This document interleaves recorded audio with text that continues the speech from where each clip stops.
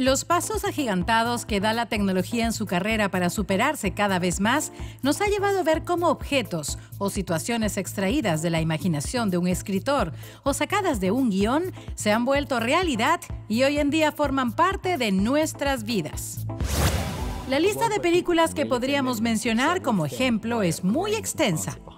Desde adminículos de Star Trek Pasando por las comentadísimas zapatillas de Volver al Futuro, la tecnología parece haber tomado de guía a la ciencia ficción para facilitarle la vida al ser humano. Una tecnología que quedó registrada en la mente de muchos en estos últimos años ha sido el sistema que usa Tom Cruise para ubicar, agrandar y encontrar imágenes en la cinta Minority Report. Pues bien, Existe una compañía norteamericana llamada Oblong Industries que cuenta con este tipo de interfase y que es empleada para realizar teleconferencias y mostrar gráficos. Sin embargo, es la recientemente premiada serie de Netflix Black Mirror la que más similitudes con la realidad ha conseguido a lo largo de sus tres temporadas.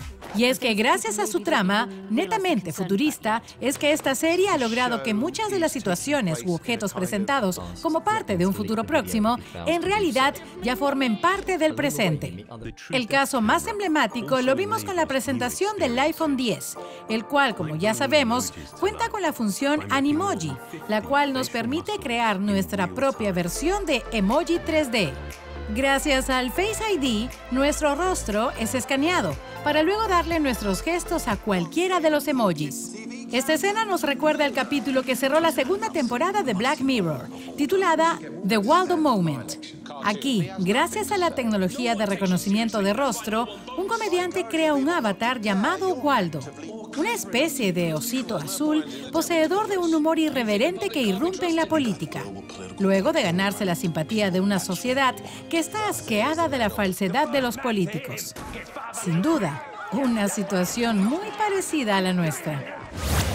Si eres un seguidor de Black Mirror, recordarás el episodio que abre la segunda temporada llamado Be Right Back, la historia de una joven que pierde a su novio y hace uso de la tecnología para comunicarse con él y luego hacer una copia del mismo usando la información que la nube posee de todos nosotros gracias a las redes sociales. Pues eso también es una realidad. Se trata de Vina 48, un robot creado a partir de los recuerdos y creencias de una persona, Vina Aspen, y con la que tranquilamente se puede sostener cualquier tipo de conversación.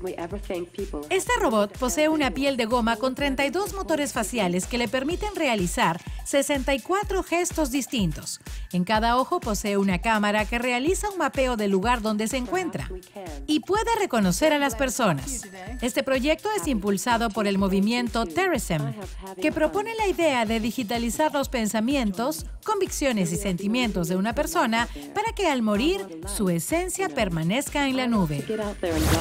Otro ejemplo interesante lo trae el capítulo Hated in the Nation en el que se plantea la premisa que debido a la desaparición de abejas, se crean enjambres de ella, pero robóticas, que cumplen casi la misma labor que las reales.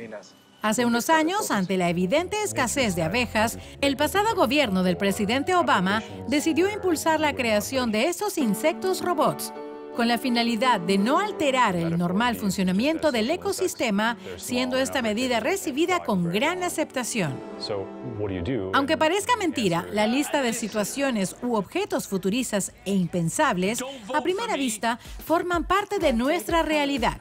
La que más nos rodea es la que tenemos en las manos en este momento. Sí, el smartphone y el obsesivo uso de las redes sociales. La dependencia por ese gadget que muchas veces nos aleja del entorno fue reflejada en el capítulo Nosedive, protagonizado por la bella Bryce Dallas Howard. Tal vez no se trate de una coincidencia. Quizás Black Mirror en realidad sí es un espejo en el que podemos ver lo peor de la humanidad.